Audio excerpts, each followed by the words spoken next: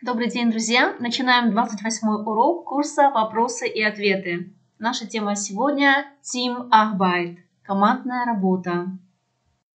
И сейчас, как всегда, прочитаю вопросы по этой теме с переводом на русский. Was bedeutet der Begriff Team Arbeit? Что означает понятие командная работа? Was ist für dich eigentlich Teamfähigkeit? Что для тебя, собственно говоря, означает способность работать в команде? Welche Probleme gibt es bei der Teamarbeit? Какие есть проблемы в командной работе? Was ist besser für dich, im Team oder alleine zu arbeiten? Что для тебя лучше, в команде или одному работать? И сейчас, как всегда, предложу свои варианты ответов на эти вопросы. Als Teamarbeit bezeichnet man die Tätigkeit einzelner Teammitglieder, um eine Aufgabe gemeinsam zu bewältigen und ein klar definiertes Ziel gemeinsam zu erreichen. Командная работа обозначает деятельность отдельных членов команды, чтобы совместно справиться с задачей и достичь совместно четко определенную цель.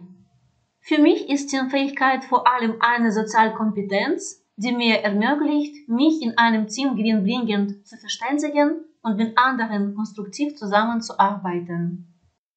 Для меня способность работать в команде прежде всего является социальным навыком, который делает возможным находить общий язык в команде с целью извлечения прибыли и сотрудничать с другими конструктивно.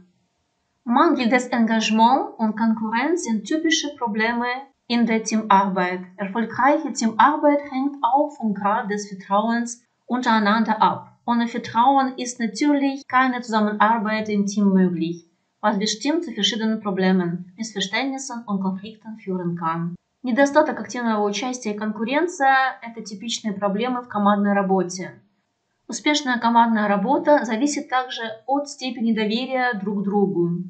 Без доверия, конечно, невозможно никакое сотрудничество в команде, что определенно может привести к различным проблемам, недоразумениям и конфликтам. Für mich ist es auf jeden Fall viel besser, alleine zu arbeiten. Es gibt keine Kollegen, folglich keine Konkurrenz, keine Konflikte und weniger Stress, was ich sicher sehr positiv finde. Niemand stört mich bei der Arbeit, Niemand behindert meine Entwicklung. Для меня в любом случае лучше э, одной работать. Нет никаких коллег, следовательно, нет конкуренции, нет конфликтов и меньше стресса, что я нахожу очень позитивным. Никто не мешает мне в работе, никто не препятствует моему развитию. Ваше домашнее задание, как всегда, дать свои ответы в комментариях под этим видео. Я прощаюсь с вами до следующего урока, в котором мы поговорим о фрайберуфля фрилансерах.